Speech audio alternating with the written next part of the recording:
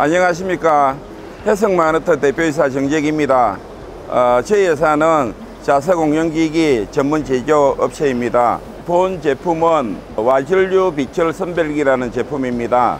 이 제품은 알루미늄과 철편 그리고 비금속을 선별하는 기계인데 도시 산업 환경 현장이나 SRF 재활용 리사이클링 산업 현장에서 발생하는 비철을 선별하는 기계입니다. 콘베어 위에 운반물에 에, 각종 산업 폐기물 속에 있는 제품을 운반하여 철은 자석에 의해서 밑으로 떨어지고 비금속은 어, 직선으로 바로 낙하가 되고 어, 알루미늄이라든가 동, 아연, 어, 신주나 이런 비철 금속은 와전류가 발생해서 튕겨 나가는 원리로 선별이 됩니다.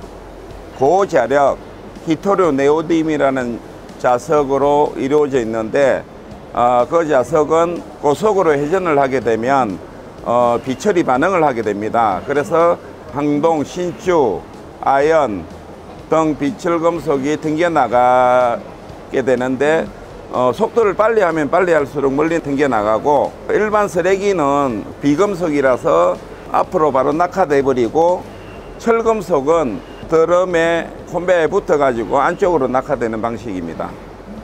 3단 분리 방식이라고 생각하시면 됩니다.